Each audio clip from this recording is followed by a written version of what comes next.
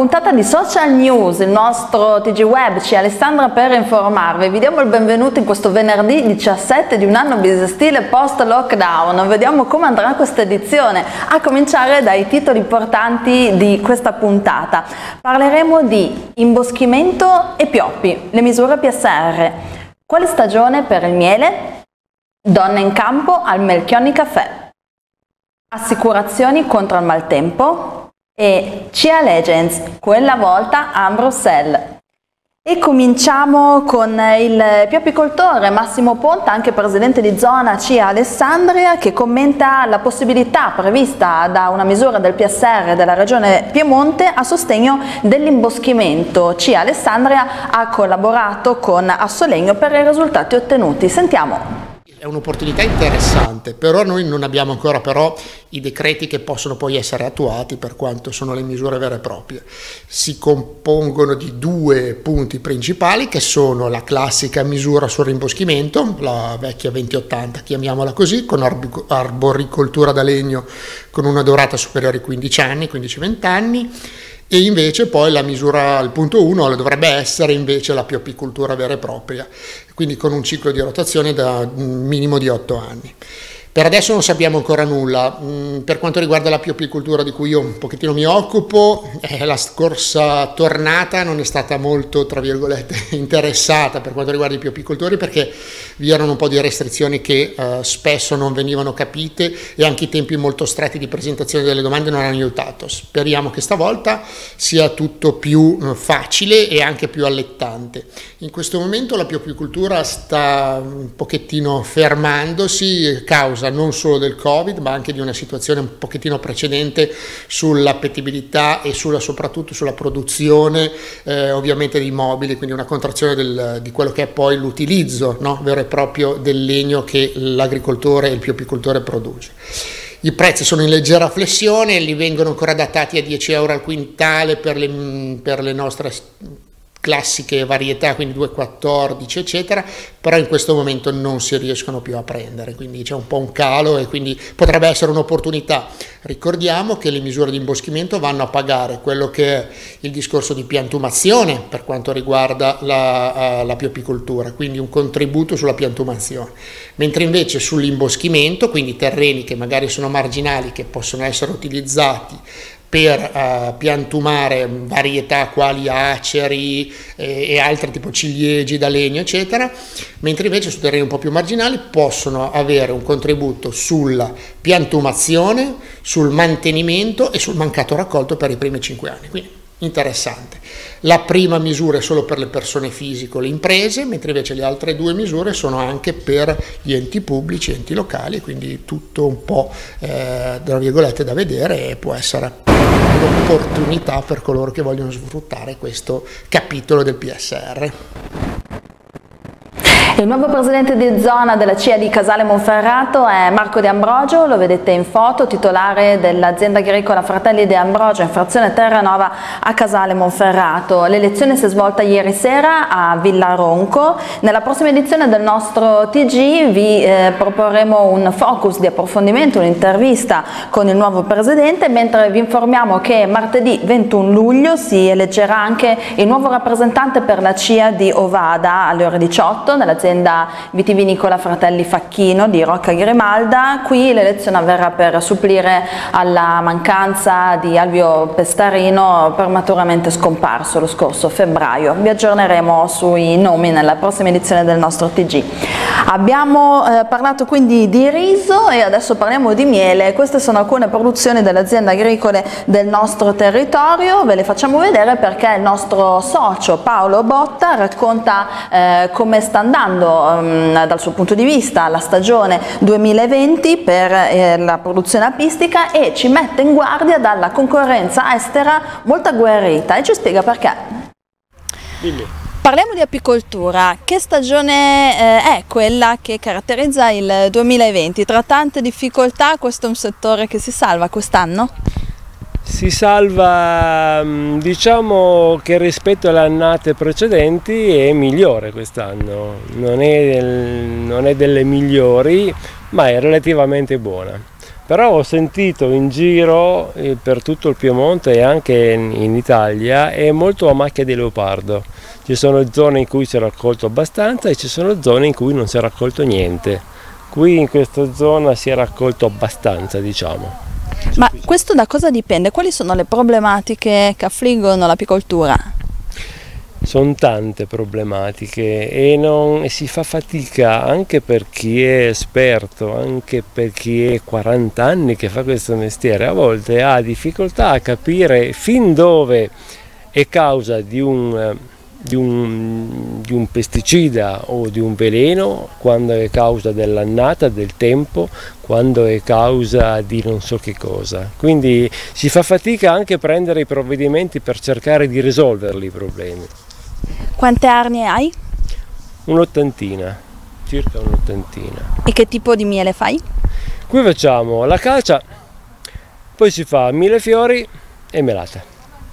La trasformazione avviene in azienda con un laboratorio attrezzato?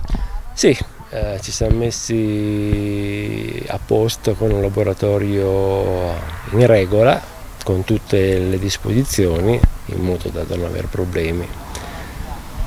Cosa dire al consumatore che deve scegliere il prodotto? L'apicoltura eh, soffre di una concorrenza estera spietata. Sì, sì, è una brutta concorrenza. Purtroppo mm, non si riesce a far valere più di tanto i nostri diritti perché questo miele che arriva da fuori arriva in condizioni che è difficile distinguerlo. Quindi una volta che è sul mercato è sul mercato e, e si subisce più che altro. Perché quello italiano è migliore? Ma eh, per un motivo principale che quello italiano l'hanno fatto le api. La maggior parte del miele che c'è in giro non l'hanno fatto le api e quello dice tutto.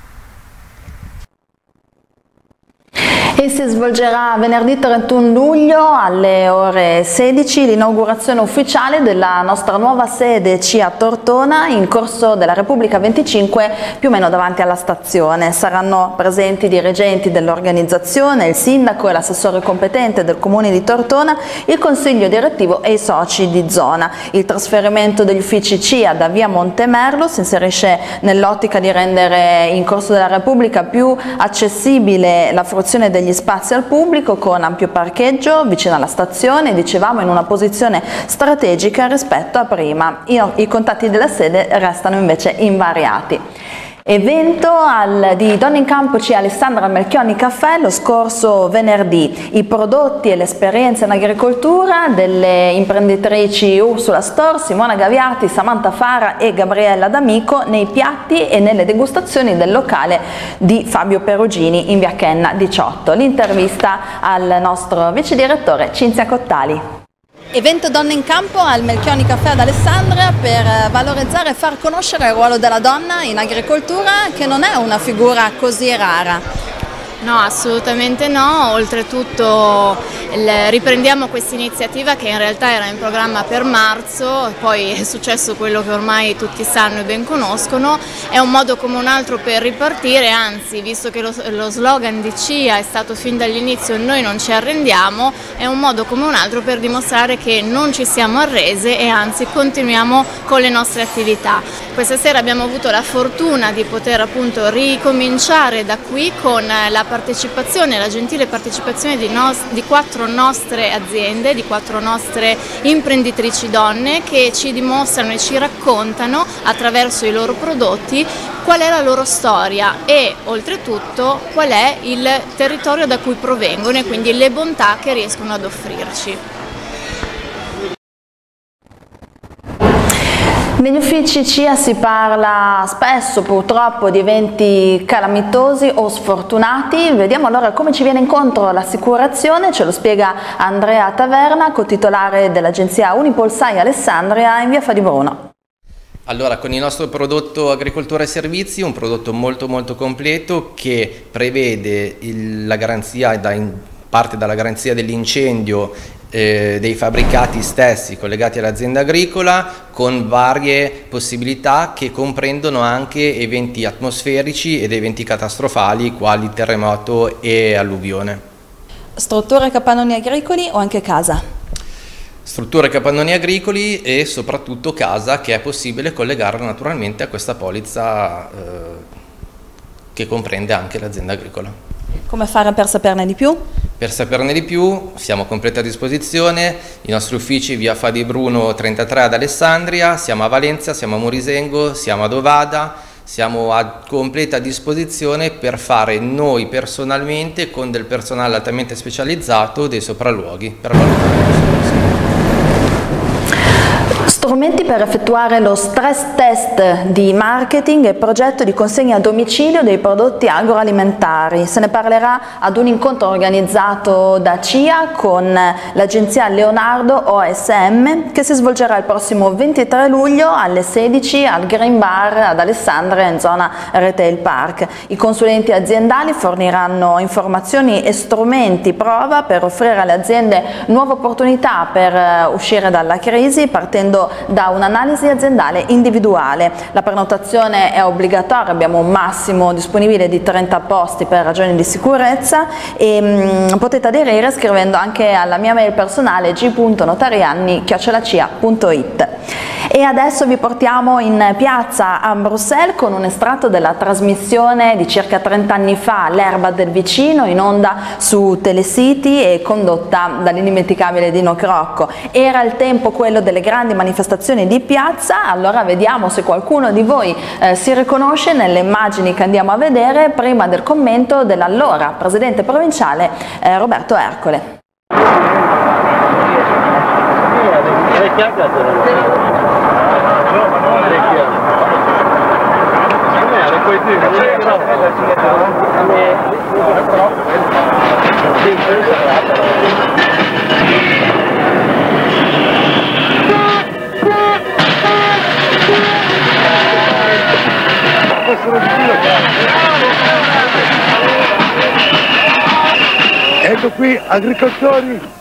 italiani, che significa tutti uniti qui a Bruxelles tutti uniti per l'agricoltura italiana perché viene penalizzata e i coltivatori non ce la fanno più. Un esperto di agricoltura, un dottore dell'agricoltura, dove va questa agricoltura? Dove, dove i governi, i politici la vogliono mandare e dove gli agricoltori saranno in grado di portarla con le loro forze. Bentrovati a questa puntata dell'Erba del Vicino che sarà interamente dedicata alla grossissima manifestazione che si è tenuta il 3 dicembre, lunedì scorso quindi, a Bruxelles. Mentre noi parleremo e cercheremo di capire e di approfondire meglio il tema dell'agricoltura in questo particolare momento di collasso che sta attraversando, scorreranno le immagini della manifestazione. Ma subito la parola al presidente della Concultivatori della provincia di Alessandria, Roberto Ercole, che dovrà lui fare il punto e rispondere a quell'interrogativo che ha lasciato quell'agricoltore che abbiamo visto e abbiamo appena intervistato durante la manifestazione. Sì, io credo che le immagini siano molto eloquenti. La tua presenza ha consentito anche a noi, qui in Alessandria, di renderci conto dell'importanza e della grandezza di questa manifestazione. I problemi che sono lì dibattuti sono estremamente gravi, l'abbiamo detto, per l'agricoltura italiana. Una forza unitaria del mondo agricolo. E io credo, nonostante un certo pessimismo che ho, che ci siano le condizioni e quindi le possibilità concrete di cambiare in Italia e in Europa il rapporto tra l'agricoltura e il resto della società. E con questa rubrica che abbiamo chiamato CIA Legends, che piace molto, siamo giunti al termine di questa edizione di venerdì 17 di un anno bisestile, siamo giunti a conclusione senza intoppi, noi vi invitiamo chiaramente a scriverci segnalazioni, eh, domande, quello di cui vorreste sentir parlare, fatelo scrivendo una mail ad alessandria.it oppure alla mia g.notarianni.it e poi vi invitiamo a seguirci eh, attraverso i social social, da cui il nome del nostro format prodotto da Double News, eh, il nostro sito internet cial.it e i nostri canali YouTube, Facebook, Instagram e Telegram. Grazie di averci seguito, appuntamento alla prossima settimana con Social News.